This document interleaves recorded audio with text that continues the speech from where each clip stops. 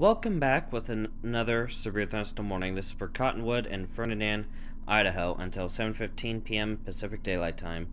The uh, 70 mile an hour winds and 2 inch hail possible. Cannot rule out hurricane force winds or tornado.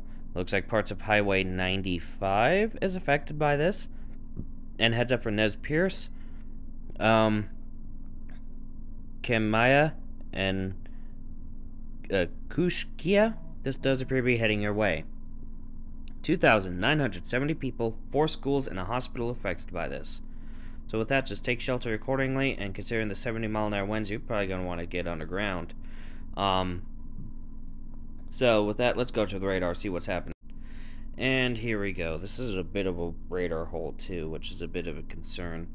Um, but yeah, I could definitely see another warning be issued for Nez Perce at any moment. So you might as well take shelter. Um, so let's go velocity.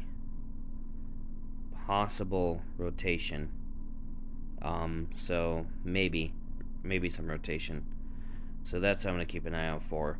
Green Creek. That if there is rotation, it's gonna be heading your way. Take shelter. Um, so yeah, with that, that does seem to be it for right now. Stay safe. See you in the next video. Bye.